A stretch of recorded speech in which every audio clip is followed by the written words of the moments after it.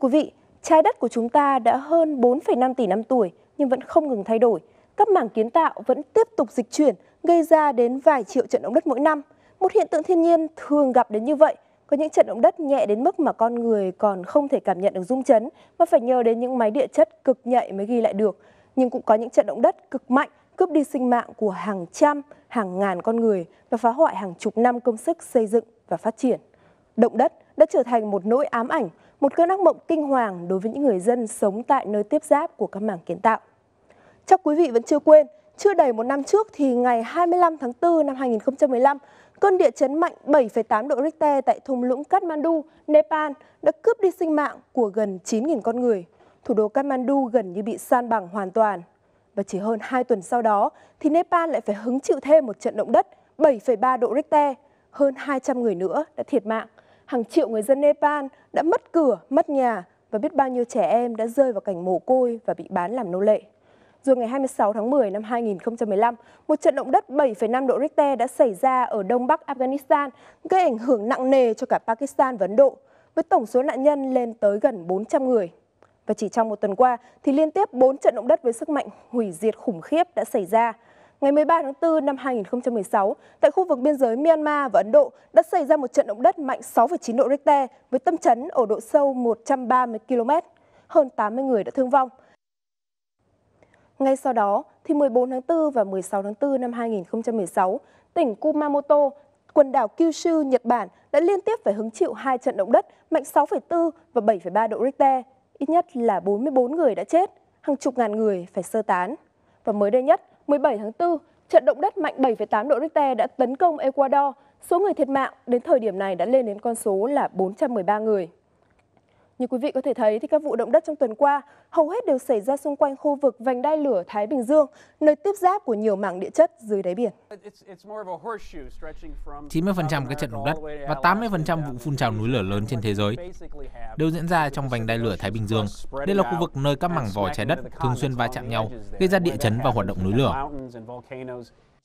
Tuy nhiên, với khoảng cách hơn 15.000 km giữa Nhật Bản và Ecuador, giới chuyên gia cho rằng vẫn còn quá sớm để kết luận. Động đất ở Nhật Bản gây ra bởi sự va chạm giữa địa tầng Philippines với địa tầng Á Âu. Trong khi đó, động đất ở Ecuador lại xuất phát từ việc địa tầng Nazca trượt bên phía dưới địa tầng Nam Mỹ. Hai hiện tượng này không liên quan trực tiếp với nhau. Mặc dù vậy, nhiều nhà khoa học cho rằng không thể bỏ qua giả thuyết kích hoạt từ xa. Lập luận giả thuyết này đó là với cường độ đủ lớn thì một trận động đất hoàn toàn có khả năng kích hoạt các trận động đất khác cho dù khoảng cách rất xa nhau. Nói đến động đất thì chắc chắn là không thể bỏ qua Nhật Bản, nơi phải hứng chịu rất nhiều trận động đất kinh hoàng như là thảm họa kép hồi năm 2011 khiến gần 16.000 người thiệt mạng và những trận động đất khoảng 4 đến 5 độ Richter thì diễn ra đều như cơn bữa. Không thể ngăn cản thiên nhiên, Nhật Bản đã cải tạo từ kiến trúc đến nhận thức của người dân để học cách sống chung với động đất. Và những năm gần đây thì trong số những trận động đất mạnh từ 6 độ Richter trở lên, số lượng thương vong đã giảm đáng kể so với trong quá khứ. Tại Nhật Bản, tất cả các công trình được xây mới đều phải tuân thủ những quy định nghiêm ngặt do chính quyền đề ra.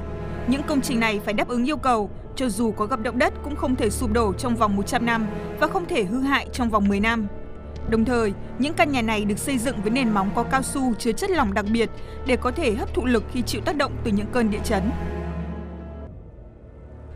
Theo luật cơ bản về ứng phó thảm họa ra đời hơn nửa thế kỷ trước, chính phủ Nhật Bản đã thiết lập một hệ thống dự phòng cần thiết phòng khi thiên tai ập đến. Trước tiên, mỗi hộ gia đình đều phải tự tích trữ trong nhà những vật dụng cứu hộ cơ bản, gọi là túi phòng chống thiên tai, với đèn pin, thuốc, khẩu trang, dây thừng và thực phẩm đủ cho cả nhà sử dụng trong vòng 3 ngày đến một tuần. Ngoài ra, mỗi địa phương cũng phải thành lập những trung tâm cứu nạn riêng được trang bị mũ bảo hiểm, lều trại, chăn chiếu, máy phát điện, thực phẩm để kịp thời phục vụ những nhu cầu thiết yếu của người dân trong lúc cấp bách. Kể từ sau vụ thảm họa động đất Fukushima mạnh 9 độ Richter vào năm 2011, Nhật Bản đã quyết định chọn ngày mùng 1 tháng 9 là ngày phòng chống thảm họa quốc gia. Vào ngày này, hầu hết người dân Nhật Bản sẽ tham gia diễn tập thực tế với kịch bản các trận động đất mạnh xảy ra, bao gồm vận chuyển người bị thương và các nhóm y tế giữa sân bay và các cơ sở của lực lượng phòng vệ sử dụng máy bay trực thăng và máy bay vận tải.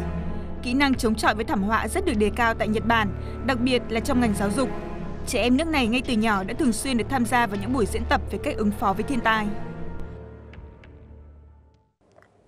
Quả là một đất nước diệu kỳ, từ đau thương thì những người dân Nhật Bản quật cường đã nhận ra là chính họ chứ không ai khác phải tự bảo vệ bản thân mình trước thiên tai với những nhận thức đúng đắn về nguy hiểm và kỹ năng thoát thân. Và một ví dụ nhỏ thôi là tất cả học sinh Nhật đều biết là mỗi khi xảy ra động đất thì không được phép hoảng loạn, phải bảo vệ phần đầu và thoát thân một cách có trật tự, tuyệt đối là không được chen lấn xô đẩy. Không chuẩn bị là chìa khóa để vượt qua những thử thách khắc nghiệt nhất. Để chuẩn bị đối phó với động đất, hãy đảm bảo rằng các đồ vật nặng và dễ vỡ trong nhà được cố định nhằm hạn chế hiện tượng rơi vỡ gây nguy hiểm. Khi bạn cảm thấy chân mình rung, lập tức thực hiện ba bước sau: cúi xuống, ẩn náu và bám chắc, ẩn náu dưới khu vực đồ vật cứng và chờ cho đến khi hết rung.